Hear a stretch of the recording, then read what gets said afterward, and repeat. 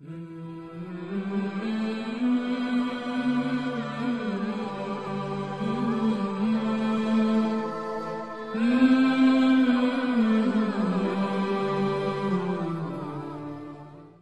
पारा जो है सूरा आल इमरान। आयत नंबर सत्ताईस से आगे पढ़ेंगे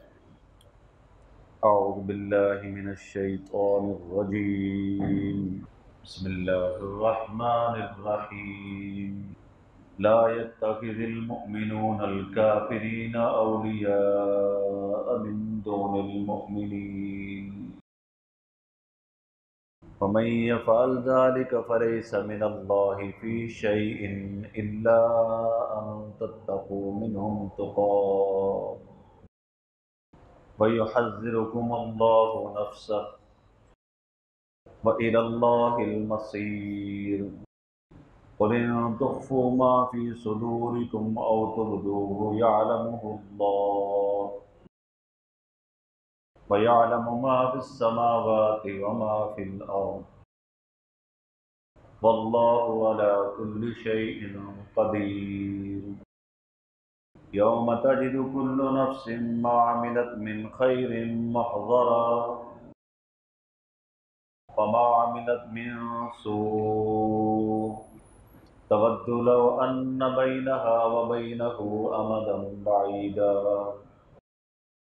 वयुहज़्ज़िरुकुमुल्लाहु नफ़्सह। वल्लाहु रऊफ़ुम बिलइबाद।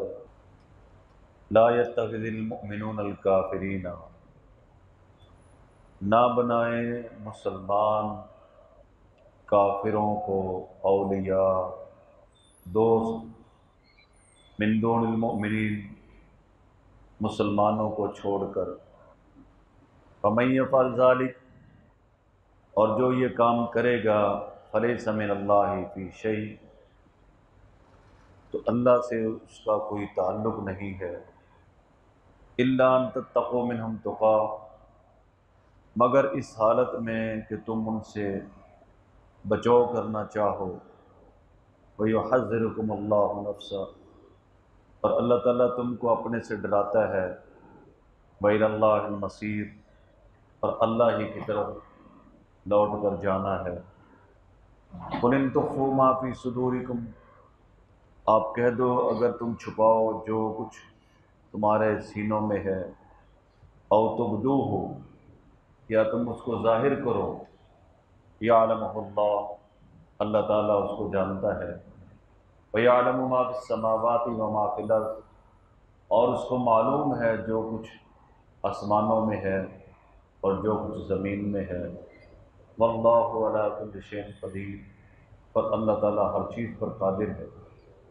यौम तजिदुल्नफ़सिमिलत मिन खैर जिस दिन मौजूद पाएगा हर शख्स जो कुछ के उसने नेकी की है, अपने सामने कमामिलत मिनसू और जो कुछ के उसने बुराई की है तवद्दुल्न बैनहा व बैन हो अमदम बाईदा। वो आरज़ू करेगा कि मुझमें और इसमें दूर का फ़र्क पड़ जाए। वही हज़रकम अल्लाह नफ्सा। और अल्लाह ताला तुमको अपने से डराता है। अल्लाहबाद और अल्लाह ताला बंदों पर बहुत मेहरबान है। इससे पहली आयात में हमने पढ़ा कि बादशाही देने वाला भी अल्लाह है, छीनने वाला भी अल्लाह है। इज़्ज़त देने वाला भी अल्लाह है, ज़िल्लत देने वाला भी। तमाम खूबियाँ, भलाइयाँ एक अल्लाह पाक के हाथ में अल्लाह ही वो ज़ात है जो रात को दिन में दाखिल करता है और दिन को रात में दाखिल करता है और ज़िंदा से मुर्दा निकालता है और मुर्दा से ज़िंदा निकालता है ये तमाम चीज़ें एक अकेले अल्लाह रब्ज़त के कब्ज़ कुदरत में। तो फिर दुनिया में जो इंसान बसते हैं, ये दो किस्म के हैं। एक वो हैं जो अल्लाह पाक के वफादार हैं। दूसरे वो हैं जो अल्लाह के दुश्मन हैं। तो इन आयात में अल्लाह ताला ने अपने वफादारों से, अपने दोस्तों से ये फरमाया है कि मेरे दुश्मनों से दोस्ती न करो। अल्लाह के जो दुश्मन है काफिर, उनसे तुम दोस्ती ना करो। याद रहे भाई, दोस्ती के तीन दर्जे हैं। एक को मवालात कहते हैं, दूसरे को मदारात कहते हैं और तीसरी किस्म को मवासात कहते हैं। मवालात का माना होता है दिली दोस्ती और ये अहले ईमान के सिवा किसी के साथ दिली दोस्ती रखना जायज़ नहीं है। और दूसरी किस्म है मदारात, जिसमें दिली दोस्ती और ताल्लुक़ तो नहीं होता। लेकिन बज़ाहिर जो है खुश अखलाक़ी से पेश आते हैं। और दूसरी की तीसरी किस्म जो है ना मवासात है, जिसकी असास हमदर्दी और गम खारी पर होती है। यानी कोई आदमी किसी पर एहसान करना पसंद करता है तो मवाला तो काफिरों से किसी तरह भी जायज़ नहीं है कि आदमी मोमिन हो और काफरों से दोस्ती रखे। कई वाक़ात ऐसे किताबों में लिखे हैं। एक वाक़ लिखा है कि एक आदमी था, वो फौत हो गया। बज़ाहिर अच्छा आदमी था। तो फौत होने के बाद किसी ने उसको ख्वाब में देखा। पूछा, अल्लाह ताला ने आपसे क्या मामला किया? उसने कहा कि, अल्लाह ताला के हाँ मेरी पकड़ हो गई। पूछा, वो कैसे? कहने लगा कि हिंदुओं की दिवाली थी? एक दूसरे पर वो रंग फेंकते थे। तो मैंने मुँह में पान डाला हुआ था। तो मैं गुजर था तो मैंने एक गधे पर जो है ना पान की पीक फेंक दी। कहा, लो, हम भी दिवाली मनाते हैं। तो मुझे कहा गया जहाँ जिनकी दिवालियाँ मनाता था ना, तेरा हशर भी उनके साथ। तो दिली दोस्ती तो किसी तौर पर भी उनसे जायज़ नहीं है। ना उनकी मुशाबत जायज़ है, ना उनकी कसरत का बाइस बनना जायज़ है। फरमाए कि लायत तखिदिलमिन काफरीना अहल ईमान, मुसलमान काफरों को दोस्त ना बनाए। मिन दोमिन अहल ईमान को छोड़ कर मोमिनों को छोड़ दें और दोस्तियाँ जो है, कुफ़ार के साथ कर ये जायज़ नहीं। और फिर कुफ़ार की अजमत दिल में रखना, उनको मुसलमानों से आला समझना, उनके निज़ाम को, उनके कवानीन को अजमत की नज़र से देखना और मुसलमानों को हकारत की नज़र से देखना। ऐसे आदमी का भी ईमान जो है वो ख़तरे में एक मोमिन और मुसलमान का यकीन और ईमान यह होना चाहिए कि अल्लाह ने जो हमें नबी अता किया है, वो सबसे आला और अफजल है। तमाम अम्बिया से आला है। अल्लाह के बाद अगर किसी का मकाम है तो वह हमारे नबी का है, सल्लल्लाहु अलैहि वसल्लम। और उसके बाद हमारा ईमान हो कि अल्लाह ने जो किताब हमें अता की है, ये सबसे आला है। जो इस्लाम का निज़ाम है, वो सबसे आला है। ये बात याद रखें, ईमान किसे कहते हैं और कुफर किसे कहते हैं? ईमान कहते हैं जो कुछ नबी पाक सल्लल्लाहु अलैहि वसल्लम लेकर आए हैं, सबको मानना। सबको। जो कुछ भी हजूर इस्लाम लेकर आए हैं, सबको मानने का नाम ईमान है। और कुफर किसे कहते हैं? नबी पाक सल्लल्लाहु अलैहि वसल्लम जो कुछ लेके आए हैं, उनमें से किसी का इनकार कर देना। हाँ या उसका मज़ाक उड़ाना, या उसको हकीर समझना, कमतर समझना, ये बंदा ईमान से फारग हो जाता है। ईमान लाने के लिए सारे को मानना शर्त है, लेकिन काफिर होने के लिए सब का इनकार ज़रूरी नहीं है। किसी एक का इनकार कर देना, किसी एक का मज़ाक उड़ाना मसल को आदमी दाढ़ी का मज़ाक उड़ाता है। तो ये आदमी क्या है? ईमान से फारग। हरत इमाम यूसर रहमत चीफ जस्टिस थे खिलाफत बनो अब्बास में। मुसलमानों में बड़ी खिलाफतें जो है वो चार रही हैं। हजूर सल्लल्लाहु अलैहि वसल्लम के बाद खिलाफत रास्ता का दौर आया। खिलाफत रास्ता के बाद खिलाफत बनो मैया कायम हुई और खिलाफत बनो मैया के बाद खिलाफत बनो अब्बास कायम हुई। और उसके बाद जो है खिलाफत उस्मानिया कायम हुई। ये 1924 में खिलाफत उस्मानिया को ख़त्म किया गया।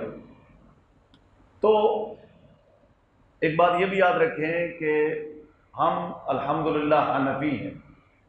इमाम हनीफा रहमत के मुकलदीन हैं। हम किसके मुकलदीन हैं? इमाम हनीफा रहमत के हम मुकलदीन हैं।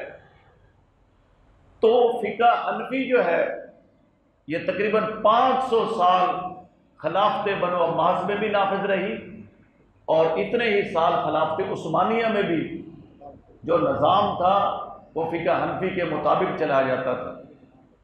आज भी अगर आपने देखना हो तो मुजल्ला उस कानून का नाम है जो खिलाफत उस्मानिया में नाफिज था। वो सारा फ़िका हनफी के मुताबिक है।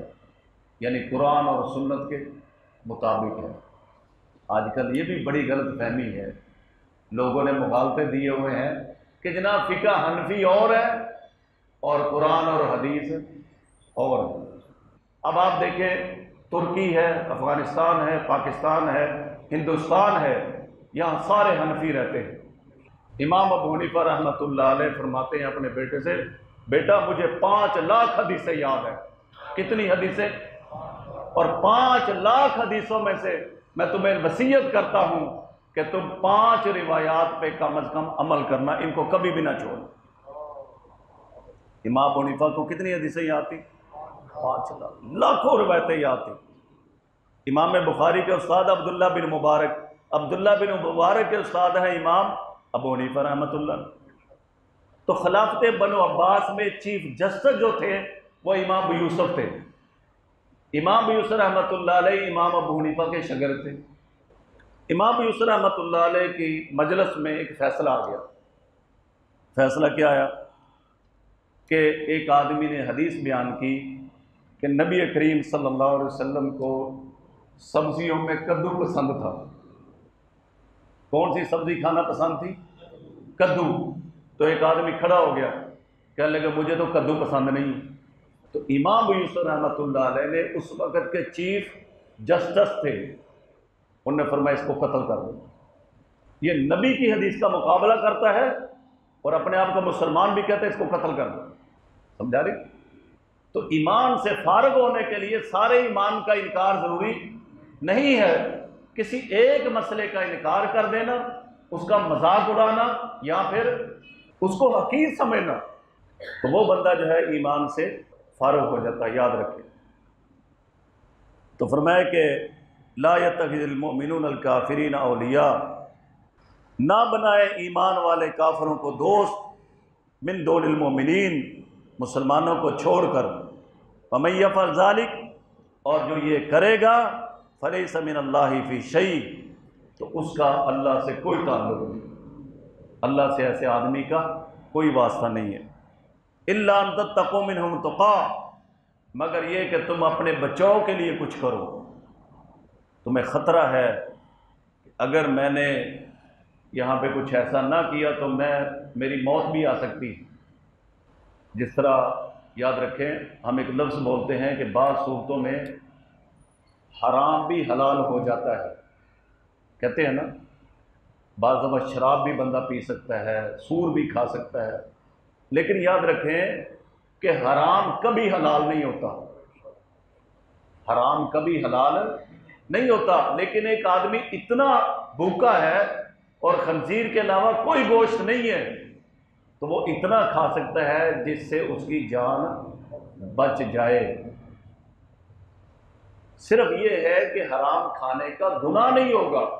हराम किसी हाल में भी हलाल नहीं होता। याद रखें। सिर्फ़ क्या है? हराम खाने का गुना उसको नहीं होगा। तो इसी तरह जो है, अगर किसी के कनपटी पे किसी ने पिस्टल रख लिया कि कल मैं कुफर कहो अब उसमें भी उसके लिए दो रास्ते हैं।